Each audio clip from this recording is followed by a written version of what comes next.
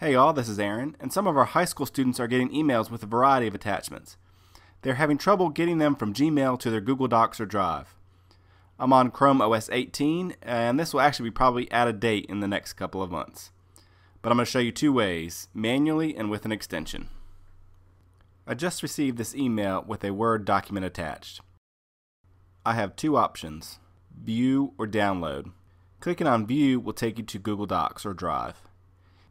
Here you have the option to save in Google Docs, edit online, or download the original. Save in Google Docs will save the original file in Docs or Drive.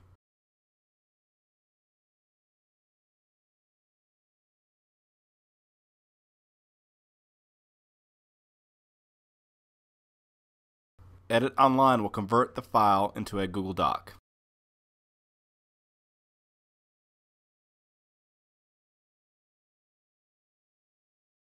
Download the original will download the original file to the download section of your Chromebook.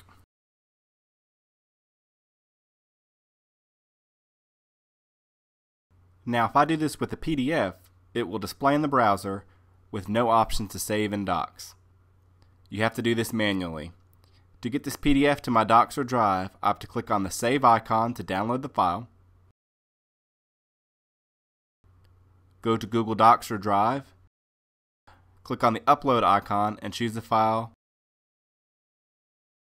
and click open. Confirm your settings and start upload. It's not too bad to do once in a while, but it can become a pain if you have a lot of files. A better way is to use the extension Gmail Attachments to Drive.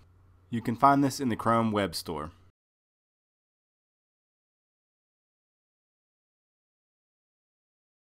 Now that the extension has been installed, I'm going back to my email with all the PDFs.